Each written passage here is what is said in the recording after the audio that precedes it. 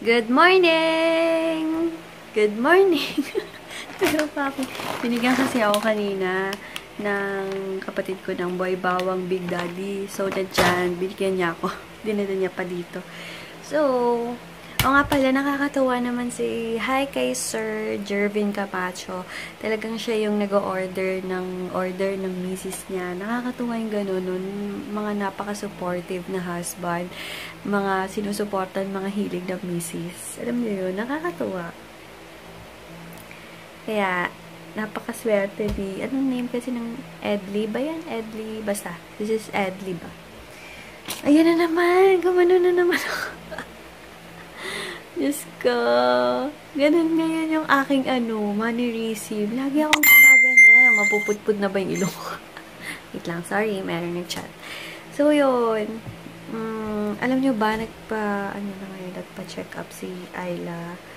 Ngayon, kasi parang humina daw yung galaw ng baby. So, ano sila kayon? Mag-ultrasound. So, balitaan ko kayo. Sana okay lang si baby. Ah, uh, malapit ng mga anak yun. Yun. Sana maging okay lang. And, na-upload ko na pala yung vlog ko kahapon na date namin ni Boyfie. So, ilalagay ko yung link below sa mga hindi pa nakakanood. Alam nyo ba, ang dami ko ng whiteheads. Kailangan ko na magpa, ano, magpa-facial. Meron, ang dami ko na ditong mga whiteheads. Kasi ang whiteheads, guys, hindi maiiwasan din talaga. And blackheads dito. Gusto ko ng pa-facial. Kung hindi bukas, Wednesday. And ako, ginagawa ko once a month ang aking facial. Kasi open pores ako. Kaya may tendency talaga na magkaroon ako ng whiteheads. Normal. It's normal. Lalo-lalo na hindi naman dito, oh, dami. Uh, may konting, may, op may open pores pa rin talaga ako. Lalong-lalo na sa ilong. So, yun. Alam niyo ba, naggumapit ako ng, ng kulambo kahapon kasi nga nawala yung maliit kong kulambo for bag. Tingnan niyo naman na sobrang liit yung nagupit ko. so, yun. Nag-answer lang ako ng in inquiries kasi kahapon hindi ako nakapag-answer ng inquiries. And, kaya ngayon, double time ako sa pag-answer. And later, guys, baka makapag-film ako ng uh, review sa lipstick na Shu Yumura kasi gusto kong i-share sa inyo yon Napakaganda kasi niya. Or, basta, um, tingnan nyo na lang. Basta mag-film ako later. Magahan ko na lang maligo para makapag-film. Ayun, sige guys, mag-work muna ako and God bless you. Thank you sa mga nag-comment sa mga last or mga previous kong um, vlogs. Thank you! O nga pala guys, um, nag Di ba parang nasabi ko sa inyo na gusto kong bumili ng ano, ng ABS-CBN Plus. And then may nag-comment si Sis Abby na hindi daw maganda yung ano, yung parang signal. So, yun, nag-alanganin akong bumili kasi dito pa naman sa place namin dito, ang hirap ng signal. Pati nga sa Sun and Smart, mahina. Yun pa ba? Yun pa kaya? So, hindi na lang. Tingnan nyo ngayon. Ngayon, yung channel to ko is malabo na naman. Pero pag gabi, okay naman. Tingnan nyo. Diba? Tingnan nyo. Diba, ang, ang labo. Hindi ko mati. Ayan, napipilitan akong channel 7. Yung panoodin ko. No choice. So, yun. Hindi na lang. Hello guys! Back to review ako. Nagre-review ako ng para sa lipstick na to. And, siguro, baka mauna yon ma-upload. So, ilalagay ko yung link below sa mga hindi pa nakakanood na mga ng review ko sa lipstick na Shu Yumura. So, sana ma-enjoy nyo and magbabalik na ako sa mga review-review ko. So, yun. Thank you! Ayan, umalis na ako and magta-try na lang ako papuntang SM kasi yung oras, ganitong oras, mahirap sumakay sa jeep, kaya tricycle na lang. Alam nyo ba, pag tricycle, 150. So, medyo mahal talaga. Pero malapit lang.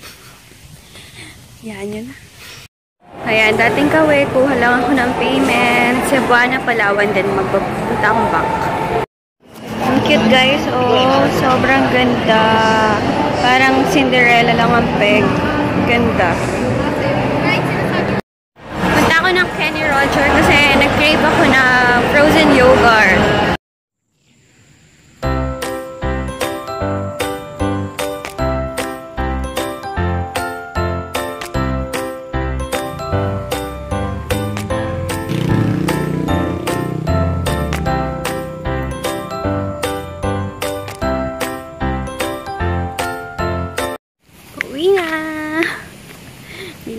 Masyado nag-vlog kanina sa mall kasi wala naman akong ginawa.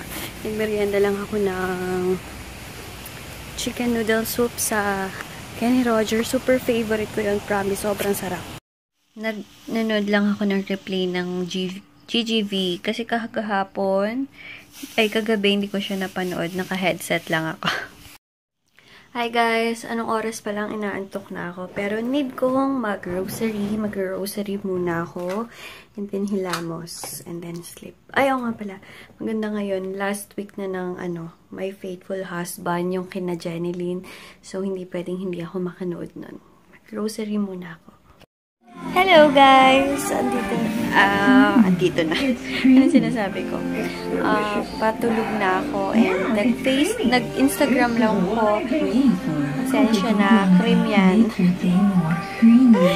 Night cream yan guys. Kinapalan ko lang. Yogurt collagen cream yan. Moisturizing cream.